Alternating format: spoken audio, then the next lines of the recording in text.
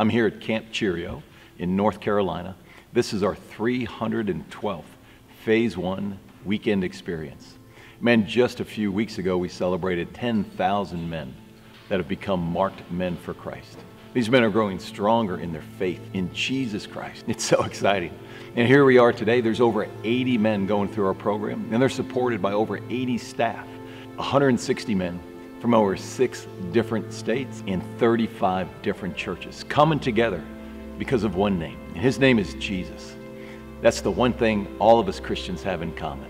It's the salvation through our Lord and Savior, Jesus Christ. And we have one purpose, and that's to build stronger men for Jesus Christ.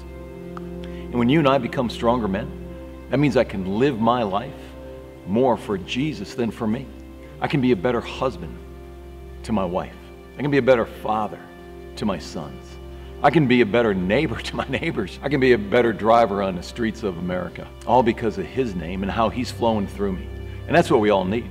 We don't need more of me and more of you coming out of us. What we need is more of Jesus flowing out of me and flowing out of you into the world.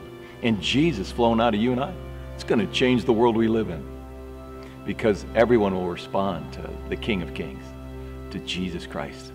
So you and I are representatives. Let's be better representatives of His great love out into the world.